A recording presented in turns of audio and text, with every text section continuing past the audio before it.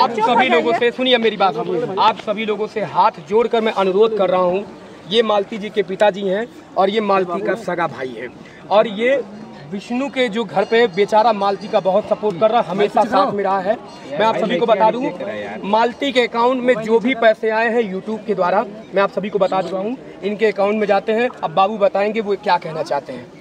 तो दोस्तों मैं जितना भी भाभी का पैसा आता था हम इनके उनको इनके हमेशा देते थे और अब भी जो आएगा उनके पापा को देंगे। युवराज को दे देंगे। जो युवराज है युवराज को देंगे या तो निरहू को देंगे किसी को उनके खाते में अमरनाथ जी एक सवाल है। इससे ज़्यादा अभी फ़िलहाल कुछ अमरनाथ जी एक सवाल है पहले जवाब दीजिएगा। मेरी बात मालती चौहान का पैसा आपके खाते में क्यों जा रहा था? दो मिनट शांत अमरनाथ जी मालती चौहान का पैसा आपके खाते में क्यों जा रहा हमारे पर भरोसा भरोसा थी, करती थी हमारे अकाउंट को लगाई थी। आज से नहीं पाँच महीना पहले से और हर पैसा इनके अकाउंट से आता था उनको मिल जाता मिल जाता था। था। इसका मैं खुद गवाहूँ में पैसा दे देते थे। ये सही मालती मुझसे खुद फ़ोन पर बता देती भैया ऐसी सी बात है।